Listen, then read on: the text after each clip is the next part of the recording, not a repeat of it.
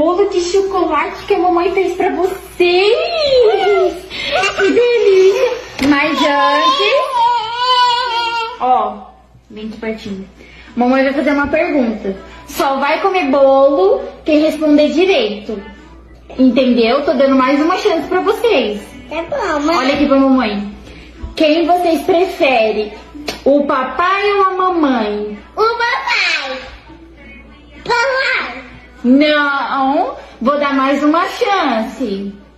Olha aqui pra mim, se concentra. Olha aqui. Quem vocês preferem? O papai ou a mamãe? O papai.